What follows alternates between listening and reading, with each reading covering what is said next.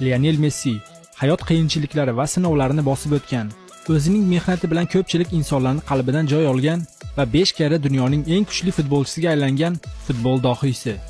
Lionel andres messi 1987 yilning 24 iyulida argentinaning rosario shahrida dunyoga kelgan. Uning otasi Jorge Rasia messi zavodda temirchi bo'lib ishlagan. Onasi Celio mario messi esa xususiy korxonada farosh bo'lib ishlagan.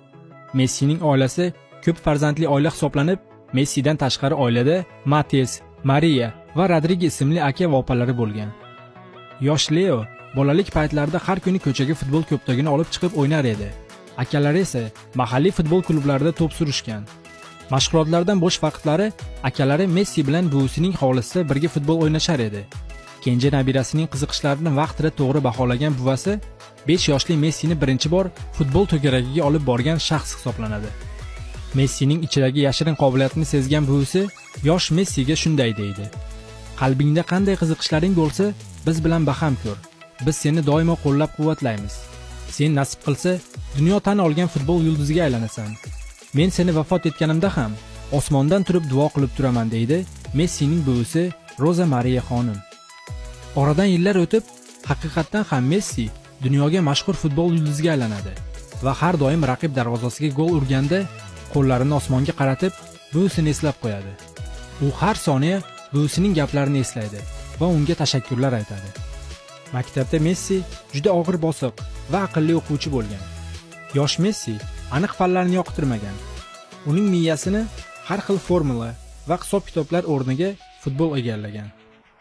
U yomon o'qigan ekanda deb xulosa qilishga shoshilmang. Aniq fanlardan tashqari qolgan barcha fanlarni messi juda sevib o'zlashtirgan. 8 yoshidan leo mahalliy professional new old boys futbol klubida to'p surgan. O'sha davrlar u o'zining birinchi g'alabasi peru do'stlik kubogini qo'lga kiritgan. Messi klubda eng bo'yi past va eng ozg'in o'yinchi bo'lgan. U do'stlariga qaraganda juda sekin o'sgan. 1997 yili leo 10 yoshida uning ota onasi leoning salomatligidan aynan tana rivojlanishidan xavotir ola boshlaydi. Ota onasi o'sha yillari yosh leoni doktor oldiga tekshirish uchun olib borishgan. Doktor leoda bosh miya gormonlarining buzilishi. Tushuntiribroq aytsam unda o'sish gormonining yoshiga nisbatan kam ishlab chiqarilayotganini aytgan. Ushbu yangilik leoning kelajakdagi karyerasiga to'sqinlik qiladigan katta xavf edi. Oilasi kasallikni davolash uchun har oy 900 dollar turadigan inyeksiyani sotib olishar edi. Otasi zavodda ikki baravar ko'p ishlashni boshlagan va shunda ham oila budjeti uning dorilariga yetmas edi. Ustiga ustak o'sha yillar argentina davlatida krizis boshlangan. Davlat ekonomikasi krizis sababli ish o'rinlarini qisqartirishni boshlagan va bu qisqartirishga lionel messining otasi ham uchragan. Shu kundan messining oilasiga yangi muammo davolanish uchun pul topish vazifasi tushgan. Oilasi farzandini davolash uchun hamma qarindoshlaridan yordam so'ragan. Lekin bu yig'ilgan pullar messining davolanishiga yetmas edi.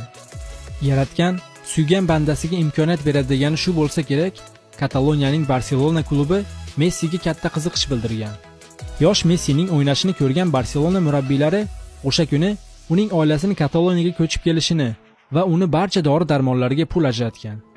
U barseloniyaning asosiy tarkibida 16 yoshidan o'ynashni boshlagan. ve 2003 yılda